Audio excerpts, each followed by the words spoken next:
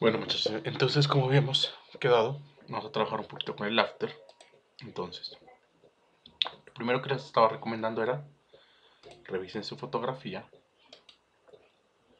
pues en las propiedades o en su cámara y vean cuánto mide su fotografía. Mire, esta mide 2352 por 1568. Entonces, lo primero que voy a hacer es, bueno, aquí en algunos casos me pregunta un nuevo proyecto, creo un nuevo proyecto, si no entra directamente así. Y tenemos como tres zonas, que es aquí donde van a estar los archivos, aquí donde va a estar nuestra pantalla y la línea de tiempo, que son las que vamos a utilizar más, más ¿no? que todo. Entonces primero aquí, en esta zona le va a dar clic derecho, nueva composición. Entonces el valor que les decía es para que lo pongamos aquí. Aquí hay ajustes por ejemplo, ustedes pueden ver en HD, bueno, 1280 x 720,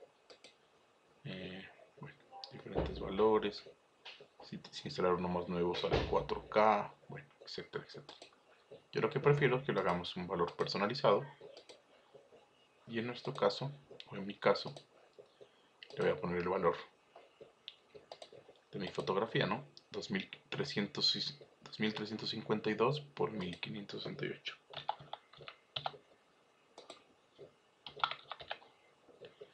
Y lo que quiero que hagan es que más o menos el valor del ancho sea por ahí 1000, 1200. Entonces, bloquear las proporciones y ponerle 1200, ¿cierto? Entonces, más o menos en mi caso,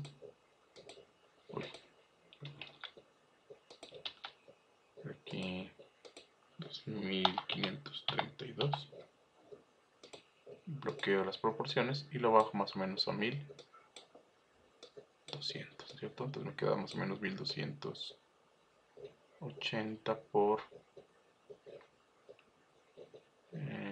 794 eh, en la velocidad de fotogramas pues vamos a ponerle 25 por ahora y en la duración yo le voy a poner 20 segundos la idea es que ustedes pongan aquí un poco más de lo que crean que dure. Si dura unos 30, por el 40, bueno, 50, etc. Es igual se puede cambiar, pero lo ponen de una vez. Entonces, miren, aquí tenemos esta zona donde vamos a poner los archivos. Aquí ven está de nuestro formato de 1280 por 791 que dio. Y aquí está abajo la línea de tiempo. Y esta línea es la que nos indica dónde estamos en, nuestra, nuestro videito, por decirlo así. aquí tengo los 20 segundos, 20, 19, 18, 17. Perfecto. Como me muevo aquí, con el scroll me acerco o me alejo, o con la barra espaciadora sale esa manito. Y puedo mover de izquierda a derecha.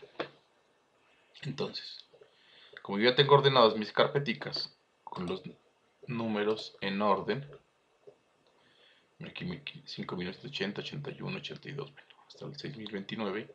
Igual cuando estén tomando en su cámara, pues las fotografías salen con esos nombres. Si no, pues tendrían que arreglarlas. Le doy clic derecho aquí y le doy importar archivo. Entonces, bueno, aquí ya estoy en esta carpetica, que es la sección 4. Selecciono solo la primera fotografía y busco aquí abajo donde dice secuencia JPG. Le doy el visto. Y cuando le doy secuencia, abajo se me habilita esta forzar orden. También le doy. ¿Esto sirve para qué? Por si de pronto nosotros tenemos aquí algunos huecos porque borramos alguna foto que nos quedó mal, entonces digamos hasta el 82 y luego el 85, entonces él fue, sigue por ahí, o sea, se ve forzado a continuar. Si no le ponemos esto, él se encuentra un hueco, hasta ahí no más importa. bueno, importamos estas fotos, aquí está esta sección 4, son todas esas fotografías.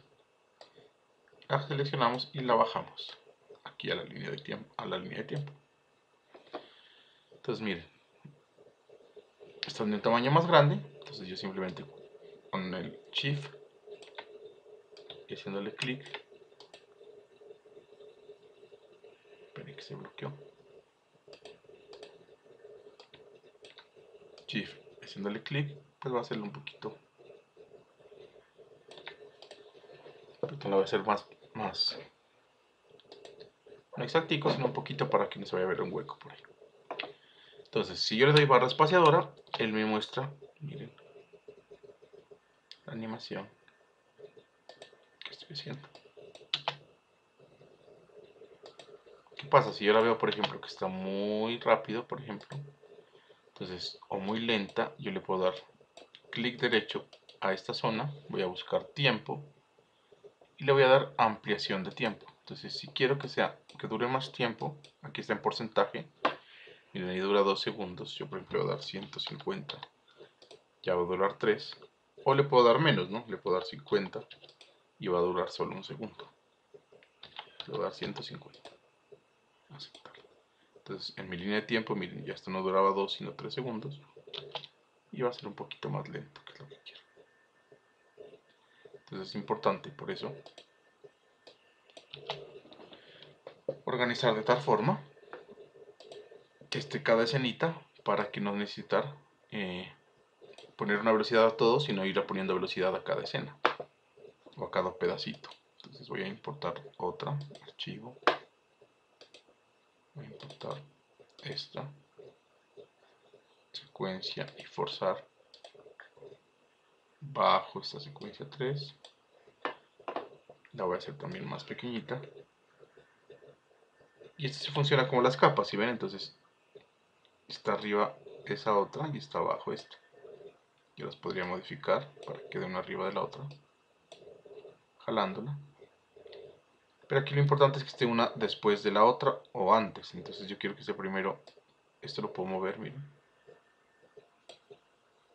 Entonces está primero este de la como de la gasolina.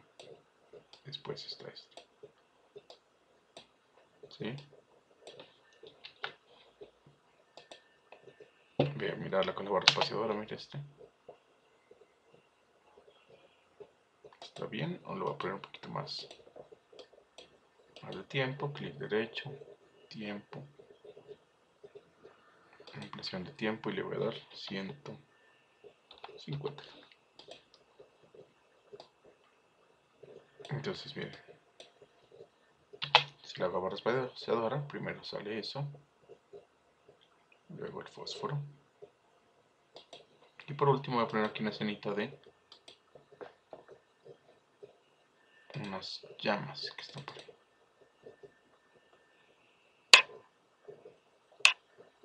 Este no es.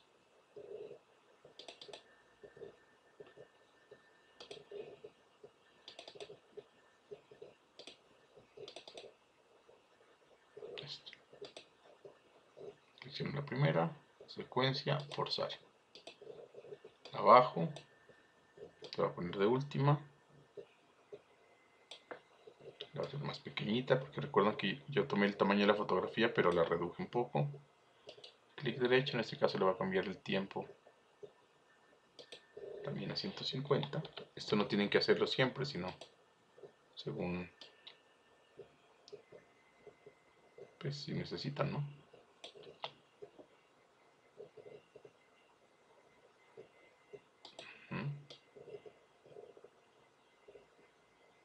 aquí lo que pasa es que va a echar gasolina, fósforo, y se prende, digamos, ¿no? Eso lo vamos a hacer, eso lo vamos a hacer más. Entonces, ¿qué quiero hacer ahora? Voy a poner sonidos. Esto pues lo organizan, lo van organizando ustedes aquí, moviendo si lo quieren primero, el segundo. Esto es muy sencillo ya teniendo las fotografías. Recuerden que en el otro video están, si queremos hacer animaciones digitales. Una cosa importante que esas animaciones, pues los elementos que, que vayan a poner, pues es importante que no tengan fondo, ¿no es cierto? Entonces, por ejemplo, aquí, eh, no sé si tengo algo aquí. Bueno, después ahorita lo vemos. Vamos ahorita a aprender a poner algo de sonido. Bueno, voy a guardar esto. Eso voy a borrar. Prueba.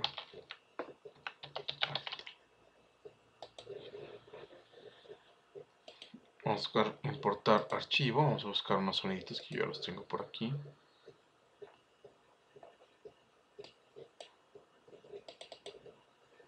Eh, por ejemplo, aquí está la gasolina. Está el fósforo. Y están las llamas. Entonces voy a poner primero la gasolina todo esto dura la gasolina entonces Si quiero escuchar lo que está ahí, voy a ponerle el, el play de la previsualización que sale por aquí.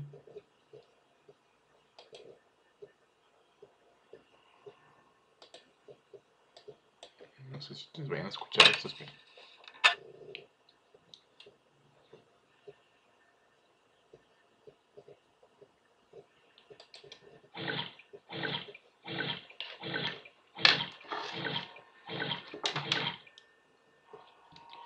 No sé si alcanzaron a escuchar, yo creo que sí escuchaba un poquito.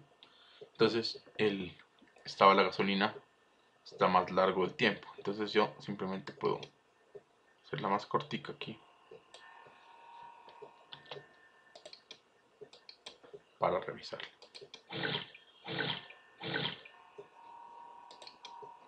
¿Cierto? Ahí está bien.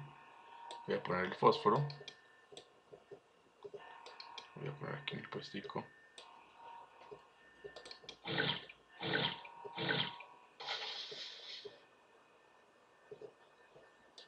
Y por último voy a poner las llamas.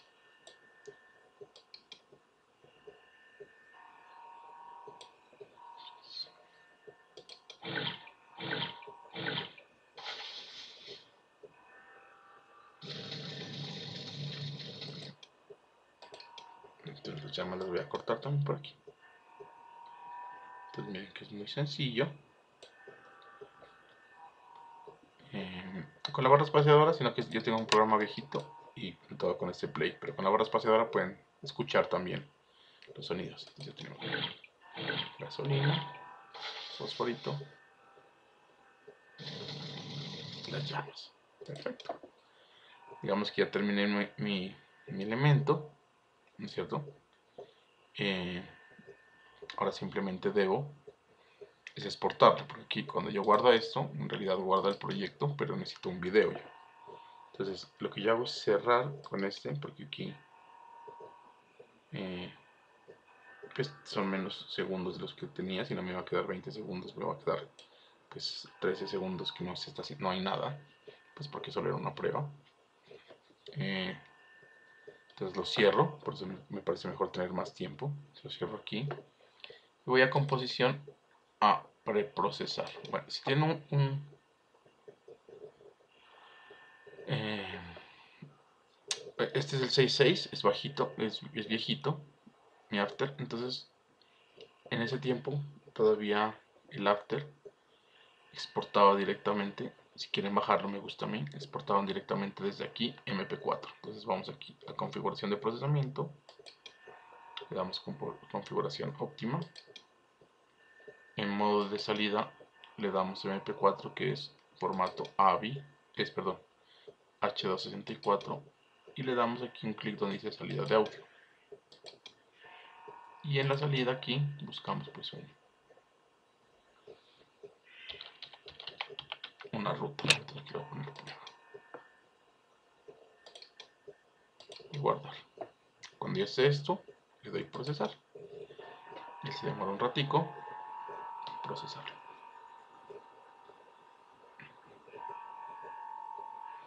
Es muy sencillo esta parte de edición. ¿Qué es lo que es importante? Pues tener los elementos, tener las fotografías tomadas, tener los sonidos que vayan a utilizar. Y si van a hacer alguna animación, que ya está en el otro video, cómo hacer algún movimiento, algún eh, acercamiento, alguna conversión de tamaño, pues tenerlo listo para revisarlo. Cuando ya lo tengan, entonces tenemos el video aquí.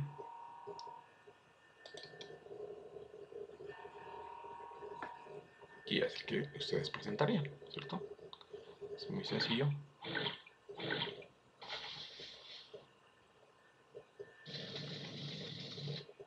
¿Se ven? Pues, no era nada del otro mundo, pero pues no lo quería hacer más largo, solo para explicarles, ¿no es cierto? Ahora, si tienen un after más nuevo, pues ojalá me funcione aquí. Cuando instalen tienen que instalar el after y tienen que instalar este Adobe Media Encoder, que también está ahí en esa carpeta que les mandé. Porque los, después del CC6, el CC, todos, ya, no, ya el programa directamente no tiene el MP4, sino que para exportar para procesar el video, tienen que abrir este otro programa que se llama Media Encoder. Adobe Media Encoder, ¿cierto? A mí lo que les digo, me gusta trabajar con cs 6 todavía. Eh, además que este computador de escritorio es un poco viejito, entonces funciona bien. Igual lo descargué este Media Encoder para hacer la prueba ahora. Eh, no sé si, nos permita eh, hacer el, el, cómo exportarlo, pero igual si nos va a dejar simplemente indicarles si es que lo exporta mal, no hay problema, pero solo es para indicarles. Entonces, una vez los abran, simplemente aquí en esta, en esta parte hay un más, ustedes le van a agregar origen y aquí van a buscar el archivo donde estaban trabajando. En mi caso se llamaba prueba after. Le van a abrir y él empieza a buscar aquí la composición de ese proyecto que va a ser la composición 1 que utilizamos. Esperemos un ratico.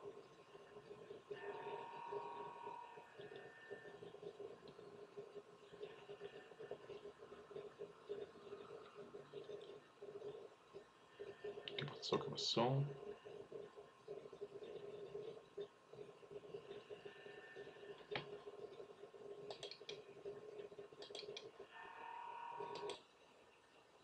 Listo, entonces aquí ya salió, le doy composición 1, que es la que vamos, vamos a procesar y aceptar. abre aquí esto, entonces aquí también buscan, ya aquí H264, eh, y no hay que ponerle nada más, y, darle a este play.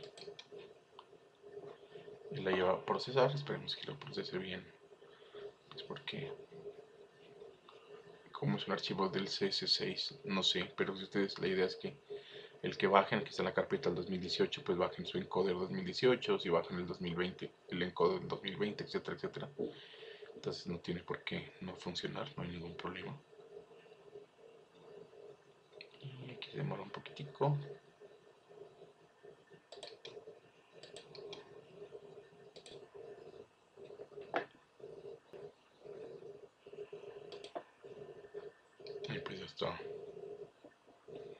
está parece que se va a funcionar.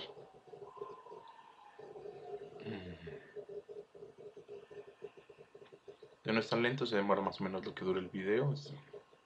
les digo, como ese computador es un poquito más viejito. El escritorio, entonces de pronto se demora.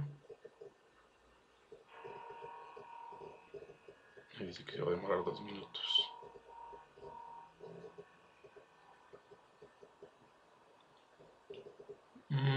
Posiblemente ahí como yo no le modifique el, haber hecho la composición más pequeña mejor cuadrar el, tiempo exacto cuando ya lo tengan no cerrarla como yo lo cerré porque aquí coge la composición como es. Entonces ahí en, en ajuste de composición pues ya cuando sepan cuánto dura le ponen el tiempo exactico mejor. Y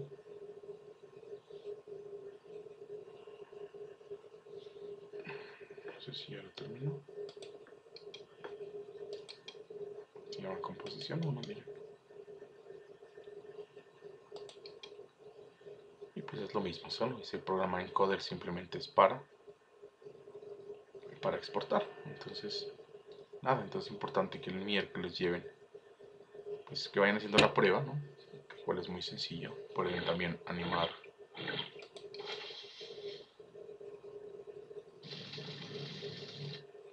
Ven aquí me toda esa parte negra porque se acuerdan que teníamos 20 segundos, pero